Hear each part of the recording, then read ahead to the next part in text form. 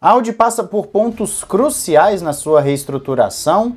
Alonso fala sobre a sua temporada, Mercedes ainda não sabe qual é o problema do carro e Red Bull pedindo pelo amor de Deus para chegar logo às férias.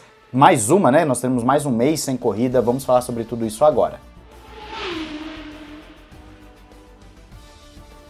Camisetas excepcionais você encontra na Paddock BR, você tem todas as equipes e pilotos, compras acima de 199 reais você tem um chaveiro de brinde, lembrando que tem parcelamento sem juros e cupom Ressaca F1 para desconto e frete grátis ou Ressaca Motor para vocês. Link na descrição e tem a Instant Gaming com os melhores jogos e gift cards. O link também está na descrição, não perca. Olá amigo do Ressaca Motor, seja bem-vindo a mais um vídeo. Eu sou Matheus Pucci Vamos começar com Audi. Estamos em semana de corrida, muitas notícias da Fórmula 1. Se você não viu o vídeo de hoje mais cedo, veja.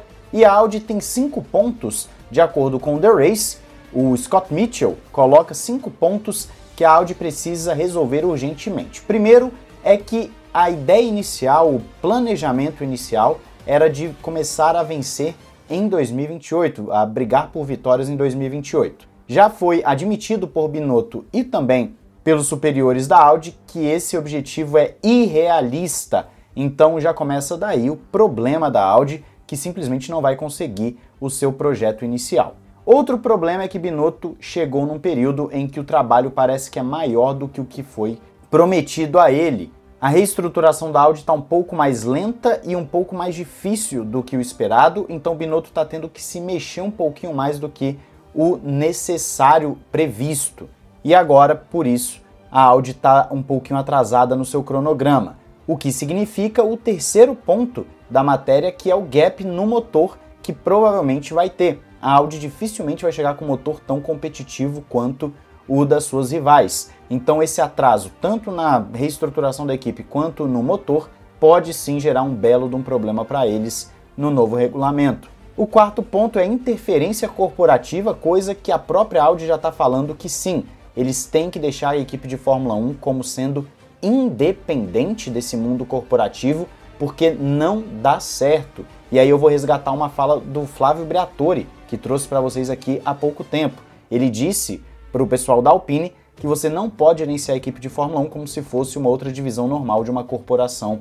Então, a Fórmula 1 tem que ser algo à parte, a dinâmica é totalmente diferente. E o quinto ponto colocado aqui é que a Audi ainda não sabe qual será o seu outro piloto. O Bortoleto está surgindo como um dos principais, inclusive já tem notícias de que só falta uma liberação da McLaren, e provavelmente é isso mesmo, eu acredito que o Bortoleto vai conseguir essa vaga, mas até o momento da gravação do vídeo nós não temos informações sobre o que, que o Bortoleto, ou o que, que a Audi, melhor dizendo, vai fazer, quem que ela vai decidir para essa vaga. Se você quer ler com mais detalhes esses cinco pontos, a matéria está aí na descrição. Eu sempre deixo as fontes na descrição para vocês, então entra aí para você ver com mais calma o que, que o Scott Mitchell discorre sobre o assunto.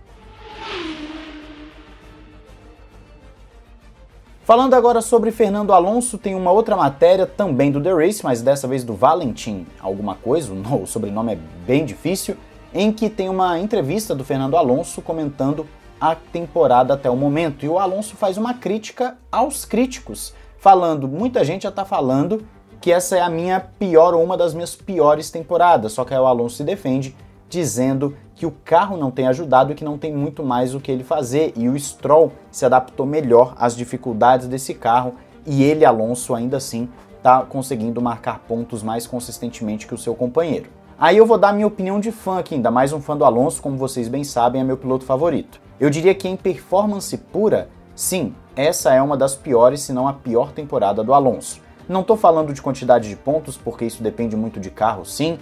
Também tem sistema de pontuação que mudou ao longo dos anos e tudo mais. Estou falando de performance pura. Você vê um Alonso andando em média um décimo, dois décimos mais rápido que o Stroll, é muito pouco. Ano passado era um massacre do Alonso.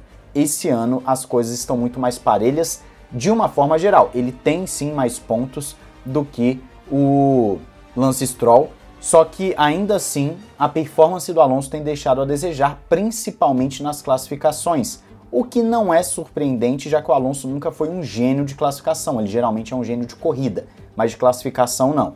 Só que a crítica eu acredito que é válida. O Alonso, obviamente, vai se defender, ele tem total direito de se defender, mas eu acredito que está entre as mais fracas que eu já vi sim dele, tranquilamente, nessa sua campanha na Fórmula 1. Espero que seja momentâneo.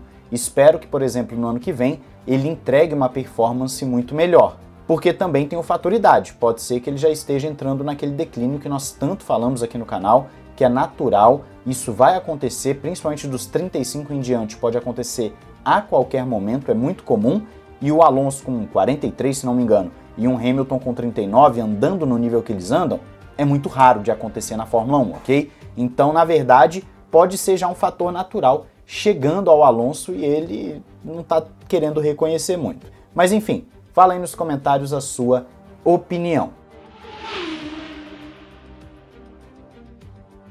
Passando agora para a Mercedes, tem notícia preocupante para você, mercedista. O Andrew Chauvelin falou que eles ainda não entendem por que, que o carro perdeu performance. Ele cita o assoalho que foi introduzido em Spa, que o carro ganhou sim um desempenho melhor em baixas velocidades, porém sacrificou muito nas velocidades médias e altas e também deixou o carro mais desequilibrado. O que isso significa? Que eles ainda estão buscando compreender se o problema é o assoalho ou se é uma natureza das pistas mesmo. A Mercedes está batendo um pouquinho cabeça e obviamente não é bom, principalmente quando você já estava numa ascensão, já estava melhorando o carro e aí chega com esse problema vindo de vitórias e agora a equipe já não está mais conseguindo performar tão bem quanto era antes da parada, que até eles reverteram, né, em Spa, tudo mais, eles reverteram algumas atualizações e conseguiram vencer, o que é curioso. Então não é uma notícia muito boa para você mercedista, mas vamos ver o que, que acontece. A Mercedes vai dar conta de reverter o quadro. Por último, mas não menos importante, notícia ruim também para você fã da Red Bull. Isso porque o chefe da equipe, o Christian Horner, falou que o período de pausa que vai ter entre Singapura e Austin, que vai ser basicamente um mês sem corrida de novo, infelizmente, né? Vai ser crucial para a Red Bull, porque eles devem ter atualizações só em Austin, ou seja, só depois desse período grande de pausa, e eles ainda estão também buscando entender o que está acontecendo com o carro. É o mesmo problema de Ferrari, de Mercedes, de Aston Martin, é o mesmo problema que a galera está enfrentando. Talvez a McLaren chegue nisso daqui a pouco, porque a própria McLaren disse que já está começando a adiar atualizações porque não sabe se vai dar certo. Então o que nós temos é uma Red Bull que precisa achar soluções. E o próprio Christian Horner fala o seguinte: o mais importante é compreender o problema e depois pensa que existem algumas soluções que podem ser potencialmente introduzidas. Então a Red Bull vai segurar as atualizações enquanto não compreender o problema. Ela ainda não entendeu, está muito claro na fala do próprio Christian Horner. Isso pode ser crucial na disputa pelo título, apesar que Verstappen não vence as seis provas, mas desde então a, a diferença dele para o Norris caiu apenas sete pontos. Então você vê que o Verstappen está conseguindo ser constante e o Norris não está aproveitando a oportunidade. Isso pode ser crucial lá no final do campeonato, na disputa no campeonato de pilotos. O de construtores está praticamente liquidado pela McLaren, a não ser que ela também entre numa draga, mas a princípio o de construtores está muito bom para a McLaren e se brincar até mesmo a Ferrari pode passar a Red Bull, já que a Ferrari também deu uma encostadinha no último Grande Prêmio. Quero saber a sua opinião, não esqueça de se inscrever e ativar o sininho para não perder nada aqui no Ressaca Motor. Um grande abraço, valeu e falou!